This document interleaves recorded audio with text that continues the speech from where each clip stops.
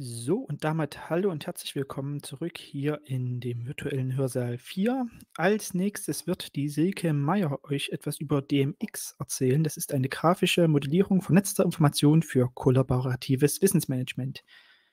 Und damit übergebe ich an dich, liebe Silke. Vielen Dank. Ähm, ja, hallo auch von mir.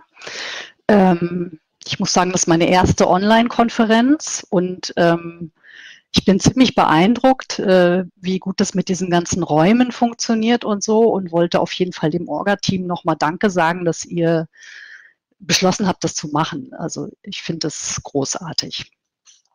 Ähm, so, dann komme ich mal zu DMX. Äh, ich sage erst mal kurz, äh, wer wir so sind. Und zwar ist das eine Software, die gibt es schon 20 Jahre. Sie hieß ganz lange die Pameta. Vielleicht kennen das noch welche von euch. Ähm, Jörg Richter ist der Softwareentwickler, der sich das ausgedacht hat. Ähm, der ist auch nach wie vor äh, dabei. Wir haben vor zwei Jahren beschlossen, das äh, Projekt umzubenennen in DMX und haben eine Firma gegründet zu acht. Ähm, und jetzt sind wir ein interdisziplinäres Team aus den Bereichen Softwareentwicklung, Systemadministration, Sozialwissenschaften, Kommunikation und Kultur. Und ich bin heute hier, um euch mal das DMX 5.0 Release kurz vorzustellen. Ähm so, hier ist ein kleiner Überblick über das, was wir vorhaben. Ähm, erstmal, wozu ist DMX überhaupt gut? Welche Projekte gibt es schon, die das nutzen? In was für Einsatzszenarien wird das verwendet? Dann gucken wir uns kurz die Terminologie, die wichtigsten Begriffe an und wie das User Interface aussieht. Und dann kommen wir zum Thema, was ist ein Datenmodell und wie kann man das selber in DMX grafisch zusammenbauen. Später komme ich dann noch zu Plugins und weiteren Features. Das wird kurz angerissen. So, und ich muss sagen, ich wollte eigentlich ganz viel User Interface zeigen, ähm, habe dann aber festgestellt, dass es durch die Übertragung eine ziemliche zeitliche Verzögerung gibt und habe mich dann doch entschieden, euch jetzt erstmal eine Weile mit Folien hinzuhalten und erst zu dem Datenmodellteil dann tatsächlich in eine DMX-Instanz zu wechseln. So, was ist DMX? Ähm, wir sagen immer, es ist eine Plattform für Wissensmanagement und Kollaboration. Ähm, das ist natürlich ein bisschen abstrakt. Äh, es geht darum, ähm, eine Plattform zu schaffen oder zu haben, mit der man einen Startpunkt hat, um relativ einfach Anwendungen zu, zu entwickeln, ähm, die Zusammenhänge abbilden können. Und zwar ähm, stellen Computer ja oft einfach nicht Zusammenhänge so dar, wie Menschen denken, nämlich viel assoziativer. Ähm, wir verbinden Sachen gedanklich miteinander und an diesen Verbindungen wissen wir ja, was da noch für Informationen zusätzlich dranhängen. Sind das zeitliche Abfolgen oder sind das irgendwelche Attribute, Schlagworte oder kommt ganz auf den Zusammenhang drauf an, in dem wir arbeiten. Ähm, und DMX ist dazu da, das zu unterstützen, halt die, ähm, das assoziative Arbeiten und Vernetzen von Daten. Und das Ganze kann man hier äh, grafisch mit modellieren.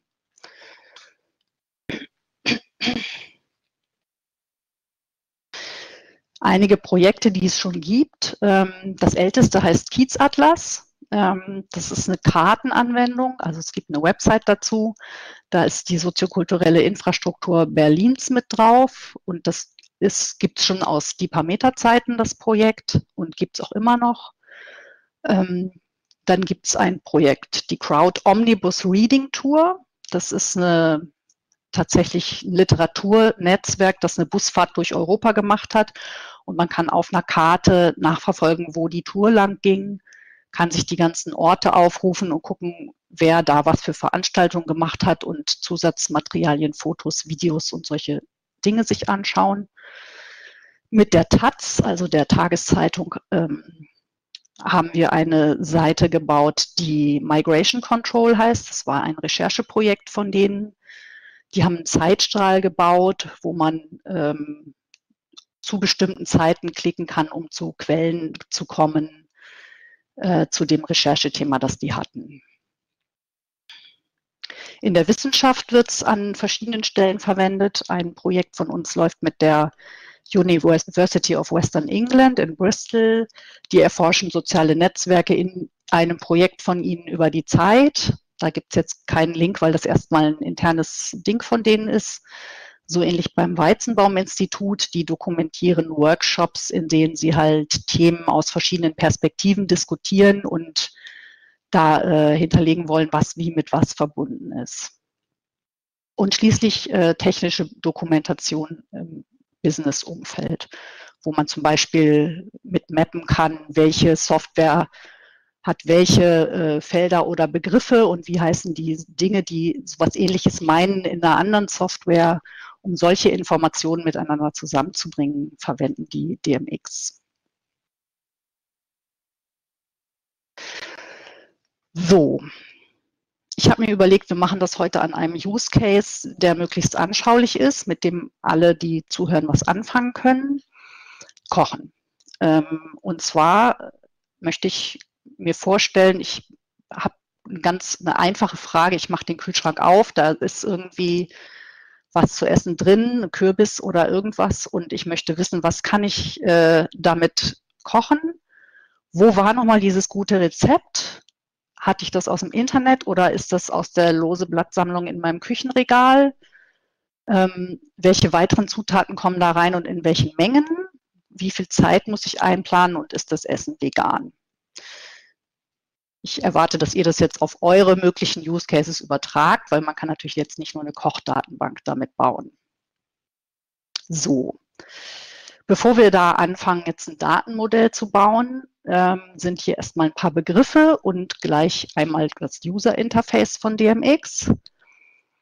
Ähm, zuerst haben wir Workspaces. Das ist die oberste Ebene, in der Content organisiert wird. Ähm, also so große Projekte wie zum Beispiel Workspace 1 ist meine Dissertation, Workspace 2 ist meine Kontaktdatenbank für ehrenamtliches Engagement, Workspace 3 ist äh, meine Kochdatenbank. Und je nach Projekt möchte ich mit unterschiedlichen Gruppen von Leuten daran zusammenarbeiten. Das heißt, an diese Workspaces sind in DMX auch die Zugriffsrechte gebunden. Da kann man dann auf fünf Ebenen einstellen zwischen privaten oder World Writable Workspaces gibt es Abstufungen. Huch, ich habe jetzt irgendwie in die Folie gezoomt. Als nächstes haben wir Topic Maps. Die sind innerhalb von Workspaces. Ihr werdet das gleich sehen. Das sind wie Karten, die ähm, eine konkrete Arbeitssituation jeweils zeigen. Das heißt, in einem Workspace kann ich viele so eine Topic Maps anlegen und mir je nachdem, was ich in dem Kontext jetzt gerade sehen möchte, äh, Dinge aus der Datenbank dahin holen und die da anordnen. Und die bleiben dann auch so. Ähm, die Datenbank darunter, da ist alles drin. Ähm, idealerweise ist jeder, jeder, jedes Item, was ich eingebe, nur einmal in der Datenbank gespeichert. Und wenn ich Leserechte oder auch sogar Schreibrechte darauf habe, kann ich das in allen anderen Kontexten wieder auf eine Topic Map holen und weiterverwenden. Also Dinge werden nur mehrfach angelegt, wenn die nächste Person das nicht lesen darf, dass ich das schon drin habe. So, dann haben wir noch Topic Types und Association Types versus Topics und Associations. Dazu habe ich gleich eine extra Folie, das schiebe ich kurz nach hinten. Und wir gucken erstmal auf die Oberfläche.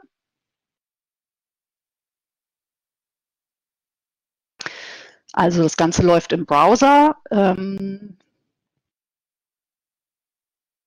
wir haben hier oben den Workspace Selector links in der Ecke. Das ist ein Dropdown-Menü, da habe ich einen Überblick über alle Workspaces, die ich ähm, besuchen darf, also die ich mindestens lesen darf. Der hier, der heißt jetzt äh, DMX User Guide Beispieldaten. Daneben ist die Auswahlliste der Topic Maps. Da habe ich jetzt hier eine, die heißt Personen und Organisationen.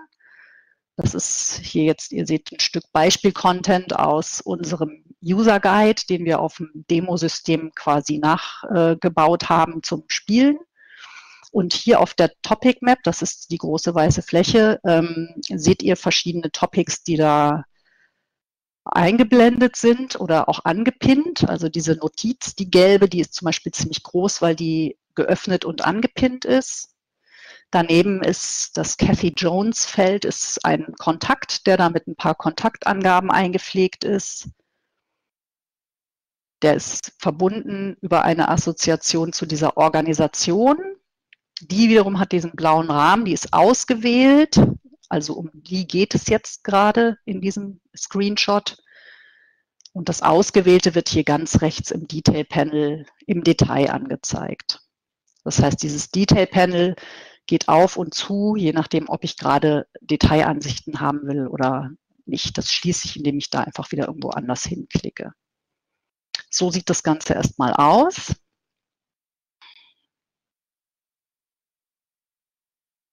Und jetzt kommen wir nochmal zu dem Datenmodellthema. Also im Prinzip ein Datenmodell, das befindet sich auf der sogenannten Typebene. Das ist noch nicht der konkrete Inhalt, den ich einpflege, sondern es ist die abstrakte Beschreibung dieser Inhalte in Form von so einem Modell oder Kategorien, Templates, Vorlagen, so kann man sich das vorstellen. Also oft ist es so, dass die, die Software entwickeln, mit dieser Unterscheidung sofort was anfangen können. Und Leute, die aus anderen Arbeitsbereichen kommen, für die ist das erstmal, da muss man sich erstmal reindenken, wie das gedacht ist. Also das heißt, auf der Typebene habe ich Topic-Typen und auf der Instanzebene, wo dann hinterher die konkreten Inhalte kommen, habe ich Topics. Dasselbe mit Assoziationstypen für die Verbindungen und Assoziationen für die konkreten, die ich dann auf einer Map ziehe. Um das an dem Kochbeispiel nochmal den Unterschied zu zeigen, Typen wären ein Topic-Typ Gericht, eine Instanz wäre dann der konkrete Kürbisaufstrich oder die Tomatensuppe. Ein Typ wäre Gemüse und eine Instanz wäre Zucchini oder Tomate. So.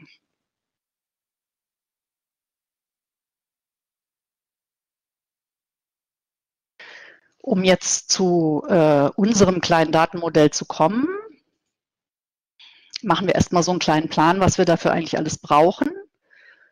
Und zwar zum ersten brauchen wir diverse Kategorien von Zutaten, die wir hinterher in so ein Essen reintun wollen. Ähm, also zum Beispiel, wie schon gesagt, Gemüse, Gewürze, ähm, Obst ähm, und so weiter, Soßen, whatever. Ähm, das sind alles einfache Topic-Typen. Ja? Also jetzt Gemüse ist ein Textfeld, da steht hinterher in der Instanz Tomate oder Zucchini. Das ist nichts Komplexes. Dann kommt das Gericht selber und das zu modellieren ist schon ein bisschen komplexer. Und zwar soll der Topic-Typ mehrere Eigenschaften haben, ähm, die wir auch als eigene Topic-Typen anlegen und mit dem Gesamten verbinden. Also wir möchten das der Topic-Typ Gericht in umfasst, es hat einen Namen, den ich da eingeben möchte. Es hat zum Beispiel eine Vorbereitungszeit, eine Kochzeit. Das wären dann numerische Datentypen, also Kochzeit in Minuten, 20 oder so. Ähm, und dann hat es noch weitere Eigenschaften. Zum Beispiel ist es glutenfrei, laktosefrei, vegan oder sowas. Das wäre vom Typ Boolean wären die. Also ist vegan ja oder nein. Ähm, ach so, hier muss ich hin. Zack. Dann kommen wir zu den, also das waren jetzt erstmal die Topic-Typen, die wir bräuchten. Als nächstes kommen die Assoziationstypen. Und da wird es schon interessant, weil da gibt es ähm, nicht ein richtig oder falsch, wie man das jetzt modelliert, sondern das, was ich jetzt erzähle, ist ein Vorschlag. Das wäre, wie wir empfehlen würden, das äh, so einen Fall zu modellieren. Und zwar ähm, wollten wir ja wissen, wie, also welche Zutaten und wie viel davon. Das heißt, äh, Menge der Zutat würden wir als Assoziation, also als Verbindung äh, modellieren, nicht als Eigenschaft, die an dem Gericht klebt, sondern wir betrachten, also wir betrachten sozusagen die Tomate nicht als Zutat, sondern als Gemüse. Und in unserem konkreten Kontext gibt es eine Verbindung zu diesem Essen. Es könnte ja aber sein, dass dieselbe, also dass dieselben Instanzen oder Topic-Typen schon in DMX in einem anderen Kontext vorkommen. Also vielleicht habe ich meinen Schrebergarten da auch schon drin äh, modelliert und äh, verwalte da, was ich da anbaue. Dann wäre die Tomate schon da und ich kann sie einfach in, der neuen, in dem neuen Kontext äh, verwenden. Und nur quasi nur darüber, dass eine neue Assoziation zu meinem Kontext hergestellt ist, ähm, habe ich dann ähm, ja meinen Kontext. Und an dieser Assoziation, also an dem Strich, kann ich dann äh, ins Textfeld die Mengenangabe zum Beispiel eingeben. So ähm, machen wir das jetzt gleich.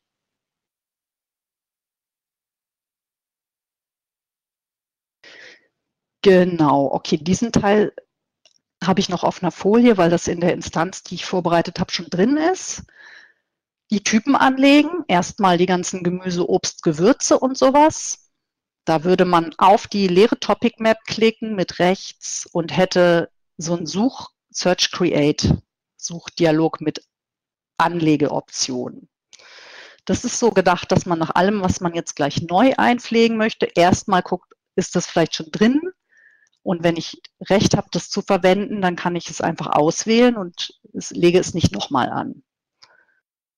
Hier sind jetzt in dem Screenshot keine Treffer, Treffer keine Treffer drin. Ähm, das heißt, ich lege Gemüse als neuen Topic-Typ an und auf der rechten Seite hier wähle ich aus, was soll es denn werden. Da gibt es zur Auswahl in dem Dropdown einige vor, ähm, vordefinierte Typen, die DMX schon mitbringt. Person zum Beispiel, ähm, das ist es jetzt aber nicht, sondern wir wollen ja einen ganz neuen Topic-Typ definieren, Gemüse. Das wählen wir hier aus und dann legen wir das an. Und im nächsten Schritt können wir dann Instanzen anlegen, also Typebene bei den ganzen Zutaten wäre Häkchen dran. Jetzt äh, pflegen wir Rotkohl ein und können dann hier hinten bei Create auswählen, dass der Typ jetzt Gemüse werden soll. So haben wir quasi die erste Instanz von unserem eigenen definierten Typ ähm, angelegt.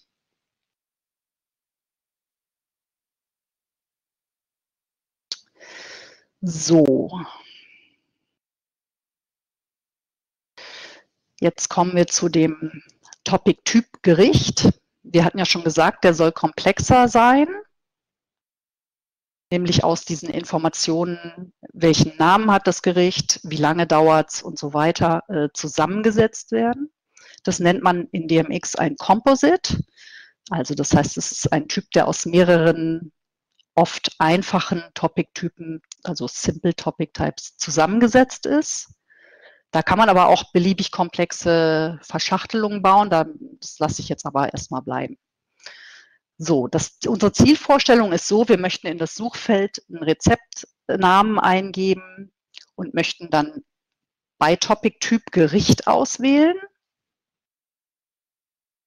wenn wir das Gericht dann angelegt haben, möchten wir so eine Maske befüllen, die unsere Felder enthält. Ähm, zum Beispiel eine Quelle, ne, wo war denn nochmal mein tolles Gericht? War das im Netz oder war das hier im Küchenschrank? Ähm, wie lange dauert es und so weiter. Das Schöne ist, dass wir uns um dieses Formular gar nicht selber kümmern müssen, weil DMX ähm, einen Formulargenerator eingebaut hat der das Datenmodell liest und wenn wir auf Editieren gehen, bietet es alle Felder an äh, zum Ausfüllen, die wir in dem Datenmodell hinterlegt haben.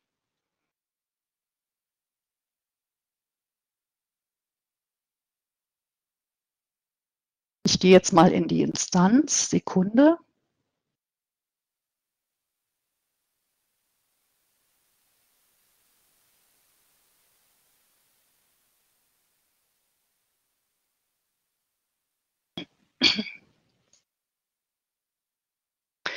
So, bin jetzt in einer DMX-Instanz, die schon bestimmte Sachen vorbereitet hat, nämlich die ganzen Gemüse und Instanzen und so weiter. Und wir möchten jetzt das Gericht und die Assoziationen anlegen. Das heißt, äh, ich bin hier auf einer, ich bin eingeloggt als SME, ich befinde mich auf einer, in einem Workspace zum Vortrag, auf einer Topic Map, die heißt sechste Folie. Ähm, jetzt klicke ich hier mit rechts ins Nichts und bekomme diesen Search Create Dialog.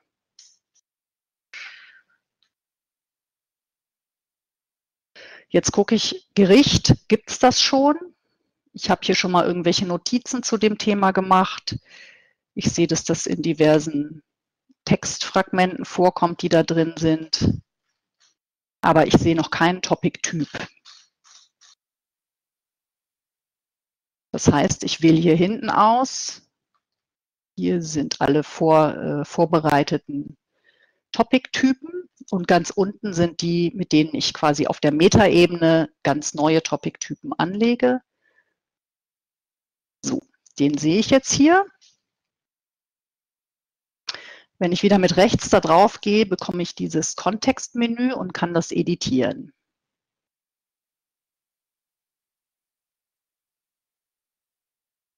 Hier sieht man jetzt ähm, erst nochmal, wie das Ding heißt. Die URI, das lassen wir jetzt hier mal außen vor. Ähm, an der Stelle würde ich euch auf den User Guide verweisen, wenn euch das interessiert, wie man das benutzen kann.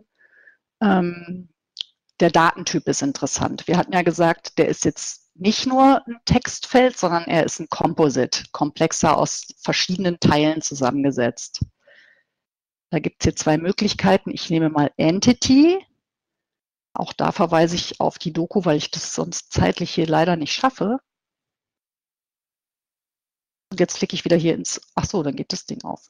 Sorry. So, ich habe jetzt hier ein Gericht, das ist als Entity ähm, angelegt und das hat zur Konsequenz, dass wenn ich jetzt was daran ankoppele, eine weitere Eigenschaft, dann weiß DMX, da kommt jetzt gleich was, weil ich wollte da ja ein Composite definieren. Sonst hätte ich nicht Entity gesagt, sonst hätte ich da Text stehen lassen zum Beispiel.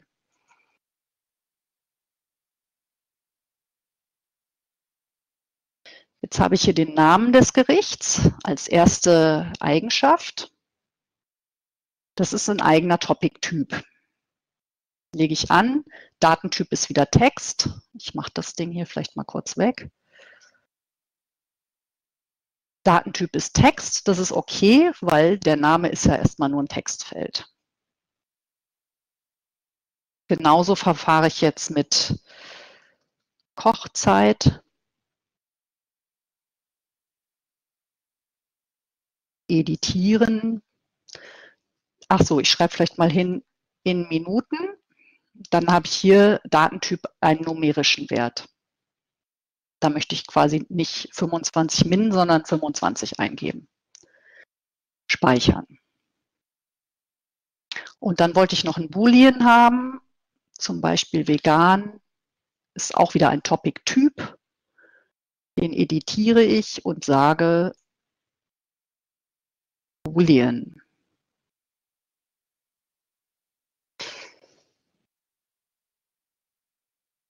Die möchte ich jetzt alle zu diesem Gericht zusammenbauen.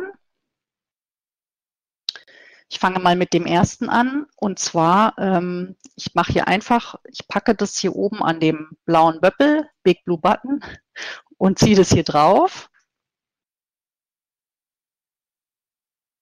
Und die Assoziation, also die der Strich dazwischen wird mir jetzt hier angezeigt.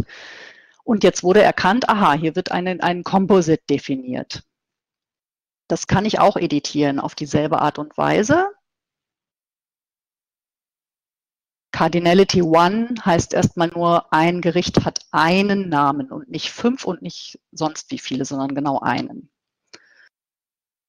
Jetzt ist, sind hier zwei Felder, die mir angeboten werden, Identity Attribute und Include in Label. Die sind dazu da, zu sagen, ich möchte, dass der Name des Gerichts der Identifier für das ganze Composite wird. Also wenn ich eingebe Kürbisaufstrich, dann möchte ich, dass äh, diese Information der Unique Identifier wird und Include in Label heißt, dass dieser String auch in dem Kästchen auf der Topic Map stehen soll. Das möchte ich. Ich möchte, dass dann da Kürbisaufstrich steht und nicht äh, vegan oder irgendwas. So. Und die anderen Bestandteile kann ich hier einfach so draufziehen. Da muss ich nicht weiter groß was machen. Jetzt haben wir schon mal ein rudimentäres Gericht. Jetzt wollten wir noch eine Quelle hinterlegen. Also wir wollten Assoziationstypen anlegen, eine Quelle und eine Menge der Zutat.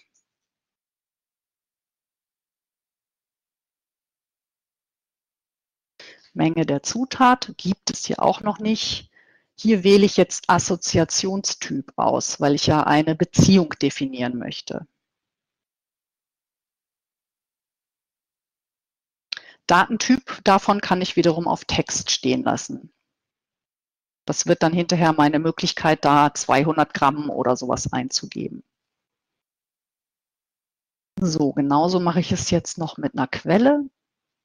Ist auch ein Assoziationstyp. Da möchte ich dann verlinken können, ob das wie gesagt, im Kochbuch oder äh, im Internet oder wo mein Rezept jetzt war.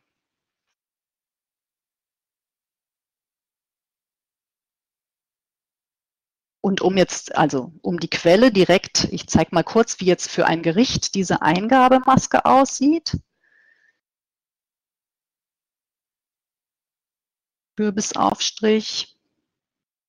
Ich habe bisher so ein paar Descriptions Ach, ich habe hier auch schon eine alte URL, okay. Aber ich habe noch äh, kein Gericht, das so heißt. Das heißt, ich gehe jetzt hier wieder in mein Dropdown-Menü, gucke mir hier in der Liste an, ah, hier ist das Gericht, wähle das aus und lege einen Kürbisaufstrich an. Jetzt habe ich eine Instanz des Typs Gericht. Ich mache hier noch mal kurz ein bisschen Platz auf der Topic Map.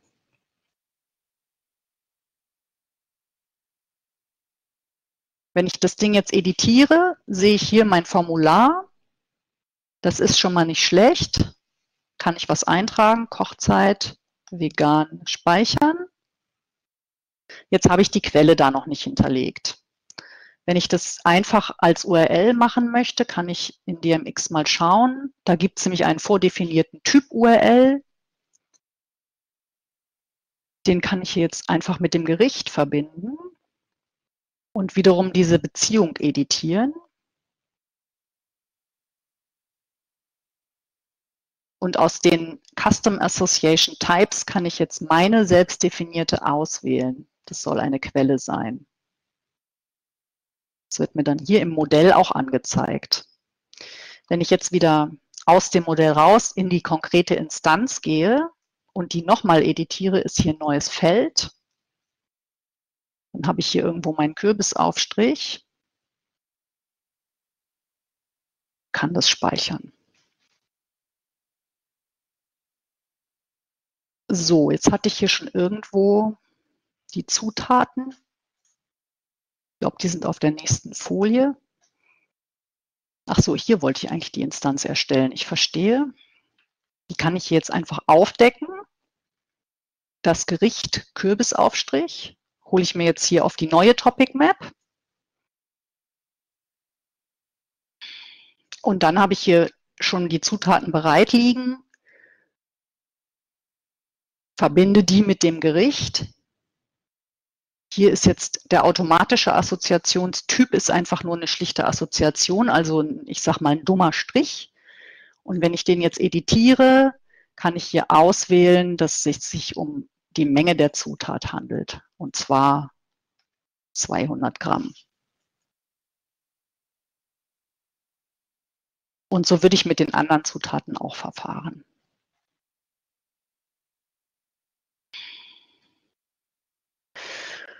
Okay, ich gehe mal aus dieser Live-Demo raus. Beziehungsweise, solange ich noch drin bin, zeige ich noch kurz was anderes ist jetzt eine andere Instanz. Ähm, und zwar habe ich da dieselben Informationen, da habe ich ein Plugin installiert, das mir dieselben Informationen schon mitgibt. Ihr habt jetzt vielleicht teilweise schon gedacht, boah, das ist ja ganz schön viel Klickerei und hier einen Strich ziehen und da noch ein Ding anlegen. Das ist super für die Leute, die nicht programmieren. Und wer programmieren kann, kann das äh, selber lösen durch ein eigenes Plugin und darin äh, Datentypen deklarieren. Die stehen dann einfach schon zur Verfügung. Datentypen, auch Instanzen, Assoziationstypen ähm, kann man quasi mitgeben über ein Plugin. Hier ist jetzt eine Instanz, wo das Plugin genau mit diesem Koch, mit dem Koch-Use-Case installiert ist. Und da sieht man mal, wie es aussehen könnte, wenn verschiedene Typen, also es sind nicht nur URLs als Quellen, sondern ich habe hier jeweils meine, meinen Assoziationstyp Quelle. Da habe ich im einen Fall ein Foto von irgendeinem abfotografierten Rezept. Im nächsten Fall hier bei den Buchweizenpfannkuchen äh, Seite 64 im Kochbuch sowieso. Oder hier bei den Fischstäbchen ähm, habe ich einfach eine, meine eigene lose Blattsammlung, die da irgendwo in der Küche rumsteht. Seitenzahl gibt es da drin natürlich nicht, ist halt irgendwo hinten, habe ich da jetzt so rangeschrieben. Genau, dann kann man solche Dinge machen wie hier diese Kante, wo dran steht Alternative zu einer Zutat. Das ist tatsächlich kein Teil des Datenmodells, sondern ich habe on the fly Sojasauce hier angelegt und einen Strich gezogen und das da dran geschrieben. Also das, man kann modellieren, man kann aber quasi auch einfach losmalen. Das kann man natürlich dann nicht so programmatisch auswerten hinterher, aber so. Jetzt äh, will ich das Screensharing wieder verlassen.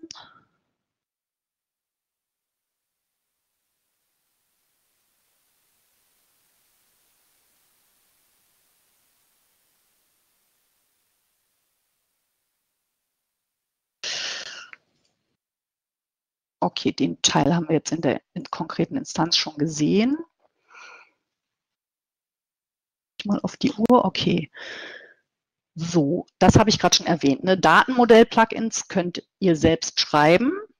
Da deklariert ihr dann in JSON, im JSON-Format, welche äh, Topic-Typen oder Assoziationstypen oder welche konkreten Instanzen schon vor, ein, vor äh, reingefüllt werden sollen in die DMX-Instanz. Hier habe ich euch auf der Folie so ein paar Informationen dazu verlinkt, äh, und zwar unseren Developer Guide, in dem, also der richtet sich ganz konkret an, an Plugin-EntwicklerInnen. Und äh, wir haben ein Plugin-Template, das eine Starthilfe ist. Ähm, von da kann man loslegen, äh, um sowas selber zu entwickeln. Und ähm, dann habe ich euch hier noch das Repo äh, verlinkt und die, auch den Download von dem JAR-File zu diesem DMX Cooking Showcase Plugin. Ähm, da habe ich quasi selber mal ausprobiert, wie, also ich bin nicht Softwareentwicklerin, ich kann auch ein bisschen programmieren, aber eigentlich nicht Java so. Aber ich habe ein Plugin äh, gemacht mit diesen Ressourcen und ein bisschen in unserem Forum fragen. Es ist nicht so schwer.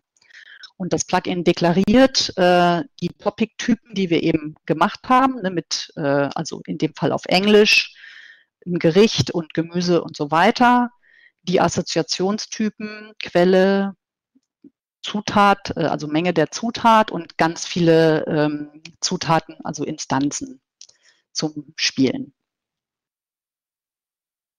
Was man noch machen kann, heißt Autotyping. Das ist, äh, da verlässt man schon die Ebene des rein deklarativen Plugins.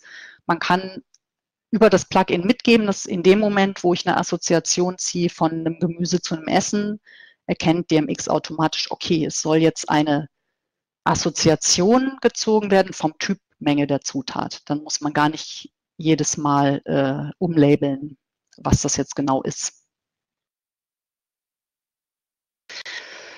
So, einige weitere Features von DMX. Ähm, die Plugin-Architektur, das genau domänenspezifische Logik, das ist das, was ich eben gesagt habe. Autotyping fällt da runter. Ähm, man kann außerdem über Plugins ähm, den mitgelieferten Web-Client erweitern.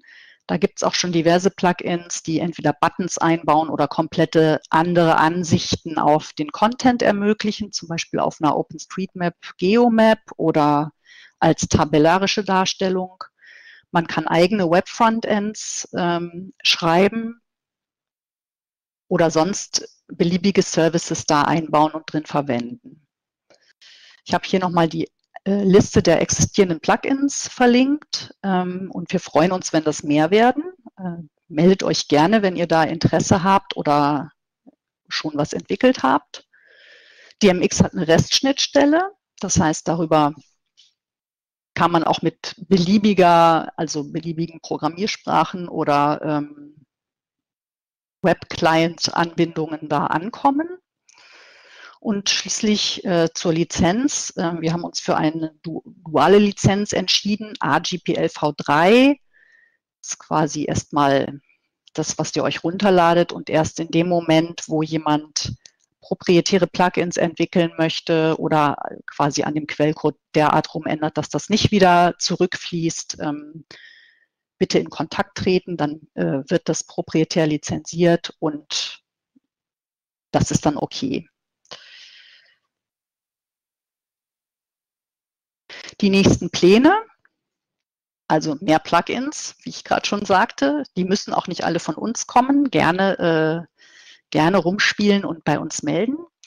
Ähm, wir haben konkret vor, ein Sign-up-Plugin zu machen, ähm, beziehungsweise zu portieren, über das man User-Accounts erstellen kann von außen und sich dann auch per E-Mail da ein Passwort schicken lassen kann. Das gibt es im Moment noch nicht. Also das heißt, im Moment ist da dann eher der Weg, die LDAP, das LDAP-Backend zu verwenden oder man hat halt einen lokalen Account ohne Passwort-Reset. Das ist aber halt upcoming. dann die Suche nach Assoziationen ist natürlich total wichtig, um da äh, Auswertungen mitzumachen. Ist aber im Moment noch ein Feature, das nicht unterstützt wird. Wir wollen die Dokumentation weiter ausbauen. Das ist ja wahrscheinlich sowieso ongoing, dass äh, in dem Maße, wo sich die Software verändert, da immer was zu tun ist. Es fehlen aber gerade auch noch ein paar kleine Sachen. Und die vollständige Bedienbarkeit über Touchscreens. Viel geht schon, aber manches geht noch nicht. Genau, und schließlich habe ich hier noch eine Linkliste für euch zu unserer Website der Dokumentation die sowohl ein User Guide, Plugin Development, äh, Admin-Doku und Beschreibung zu den Plugins umfasst. Wir haben ein Forum, wo ihr euch gerne bei uns melden könnt oder wo auch äh, diskutiert wird, wie macht man eigentlich dieses oder jenes. Und das Modeling-Beispiel, das ich gerade gemacht habe, gibt es auf Englisch als Webcast. Also es ist ein bisschen anders, aber es ist im Prinzip das gleiche äh, bei Vimeo. Genau, und damit komme ich zum Ende, habe euch jetzt hoffentlich nicht total erschlagen und ähm, her mit euren Fragen. Genau, wenn ihr Fragen habt, schreibt sie gerne in den Chat. Wenn ihr umfang umfangreichere Fragen habt, kann ich euch auf Nachfrage auch das Mikrofon freischalten.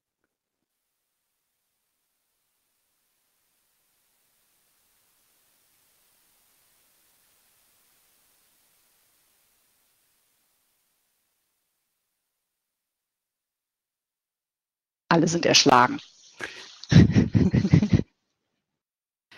ah ja, äh, eine Frage von einem anonymen Gast. Wenn man sich DMX lokal installiert, wo liegen dann die Dateien? Alle lokal?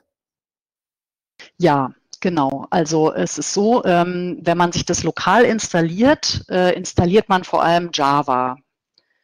Im Moment ist es noch Java 8, aber ähm, man installiert sich sonst nichts weiter. Man startet das dann, also man lädt sich quasi das ZIP runter, entpackt das und da drin ist für jedes Betriebssystem ein Startskript, über das äh, man dann DMX, also den Java-Prozess, da ist dann Jetty drin, das kommt alles in einem und es wird aber nichts weiter auf der Kiste installiert und alles liegt lokal. Anders ist es, wenn man sich das halt natürlich auf den Server installiert, ähm, dann liegt es auf dem Server. Aber es geht nichts äh, nach außen, bis zu dem Moment, wo man dann zum Beispiel Geomaps verwendet. Ne, da wird dann zumindest die OpenStreetMap-Karte geholt von, äh, von OpenStreetMap. Okay. Irau fragt, gibt es DMX auch als Hosted-Version? Ähm, ja, ähm, das gibt es bei uns. Wir ähm, haben vor, in Bälde ein ähm, quasi als Einzeluser das auch äh, for free anzubieten, was sich dann natürlich zum erstmal ausprobieren und rumspielen super anbietet. Das ist noch nicht da. Das heißt, im Moment gibt es auf unserer Website so Paketchen. Ich kann ja, soll ich mal solch, na, ihr findet es, oder? dmx.berlin, da gibt es eine Seite, wo draufsteht, äh, welche Hosting-Pakete es bei uns gibt. Der anonyme Gast von gerade eben fragt, können die Topic, äh, Topic-Typs von anderen Anwendern, also auch von anderen Servern, verwendet werden? Und wo findet man die? Nee, von anderen Servern nicht. Also es sei denn, man findet Wege, das zu exportieren und wieder zu importieren. Aber erstmal, also das föderiert jetzt nicht so wie jetzt äh, bestimmt, also wie man das teilweise in so, wie sagt man, Cloud-File-Sharing-Lösungen hat oder so, das geht nicht. Also man könnte halt zum Beispiel einen CSV-Export und wieder Import machen, aber ähm, hier kommt noch eine Frage, man kann keine Links wie im Web erzeugen. Äh, naja, ich weiß jetzt nicht, ob ich die Frage richtig verstehe. Man kann, also wenn man ne, die Instanz oder den Workspace, in dem man die Daten hat, ähm, world readable macht, dann kann man die sehr wohl über eine statische äh, URL aufrufen und darauf verlinken. Aber man kann dann nicht quasi die Topic-Typen zu sich in die Instanz rüberholen. Verstehst du, was ich meine? Links auch auf andere Server. Ja, also Moment, ich gehe mal, was passiert, wenn ich jetzt hier mal kurz weggehe? Paste hier mal ein Beispiel in den Chat. Das ist jetzt hier die Seite, die ihr eben gesehen habt, ähm, die auf meinem Server läuft, wo man über, also die Topic Map, die hat halt eine feste ID und äh, die bleibt stabil, wenn man nicht die Datenbank zwischendurch wegschmeißt und alles neu macht. Und darauf kann man äh, von außen verlinken.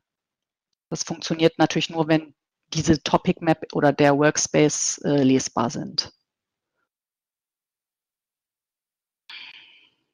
Habe ich deine Frage beantwortet?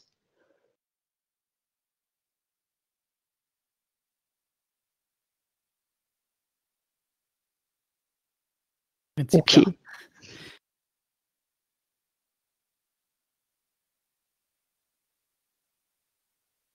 Noch jemand fragen?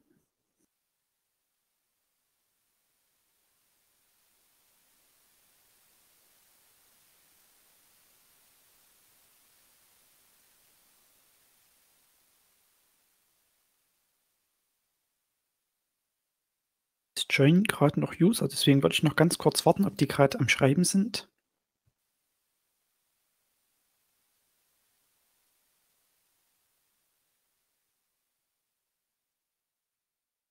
Ich würde mich sonst auch gleich noch irgendwie in den irgendeinen so Raum, den, da gab es doch einen Innenhof, oder? Genau, genau. Bei euch, genau. genau da, ich würde mich da auch noch einen Moment rumtreiben, wenn jemand noch da äh, mit Fragen vorbeikommen möchte. Ja, eine gab es gerade noch. Ähm, was passiert, wenn ein Topic-Typ, den man verlinkt, gelöscht wird?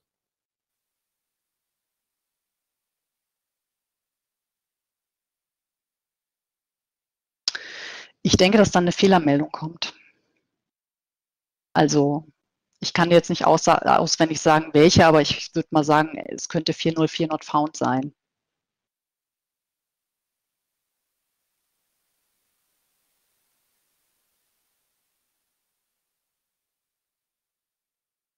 Apropos löschen, genau, bevor ihr bei euch rumspielt und wild löscht, ihr könnt Topic-Typen, wie jetzt hier in der Frage, nur löschen, wenn da keine Instanzen mehr existieren. Also wenn ich kann Gemüse nicht löschen, wenn ich da noch Tomaten und Zucchini rumfliegen habe. Die muss man erst wegräumen, alle, auch löschen. Dann kann man das, kann man den Topic-Typ auch löschen, sonst gibt es auch Fehler. Ja, ich glaube fast, das war die Frage effektiv von dem Anonym gerade. Mhm. Ah, okay.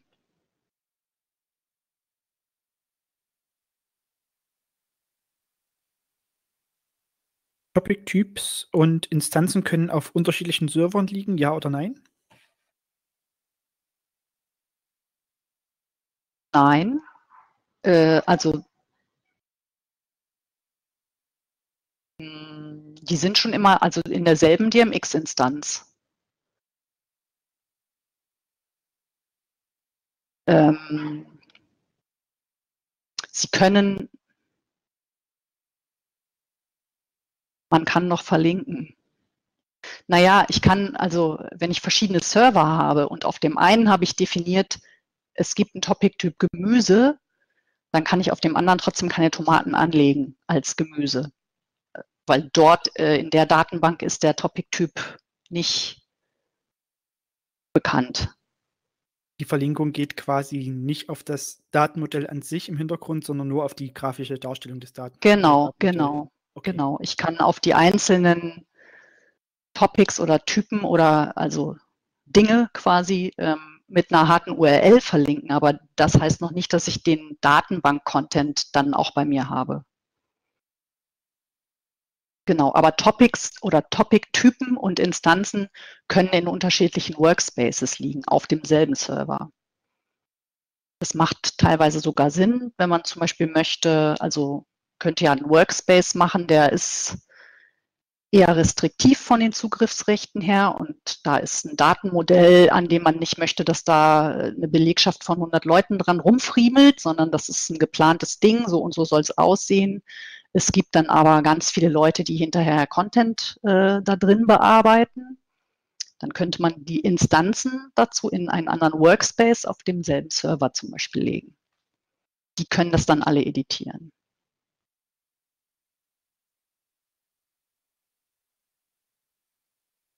Christoph fragt, kann man dynamisch von einer Topic Map auf eine andere verlinken? Das Ziel soll also vom Datenmodell kommen.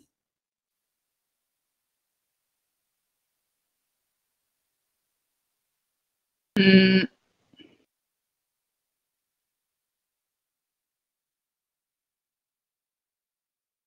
Äh, ich weiß nicht, ob ich die Frage genau richtig verstehe. Also äh, man kann auf jeden Fall wenn man einen Link oder ein HTML-Feld äh, hat, zum Beispiel in so einer Topic-Typ-Notiz, ist Note, ist eine vorgefertigte, da kann man HTML reinschreiben und wenn man in dem kleinen Editor, der da aufgeht, ähm, eine andere, da kann man Topic, äh, Topics, Topic-Typen, Maps drin äh, verlinken mit ihrer URL oder URI und dann direkt dahin springen. Meinst du das?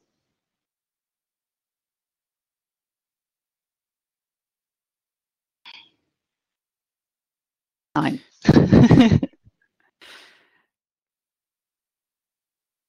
Ich würde an der Stelle vielleicht vorschlagen, dass ähm, wir dem Vorschlag von Silke nachkommen und ihr euch im Innenhof vielleicht wieder trefft. Mhm. Ähm, da können zum Beispiel auch Christoph oder wer auch immer noch Fragen hat, vielleicht auch direkt mit Mikrofon fragen. Mhm. Ähm, ja, gerne. Etwas dynamischer. Äh, wenn ihr sonst noch Fragen habt, ihr seht die E-Mail-Adresse, den Mastodon und den Twitter-Link von der lieben Silke hier eingeblendet. Und genau. Genau. Ansonsten war es das von unserer Seite aus. Ja, vielen Dank für euer Interesse. Genau. Tschüss.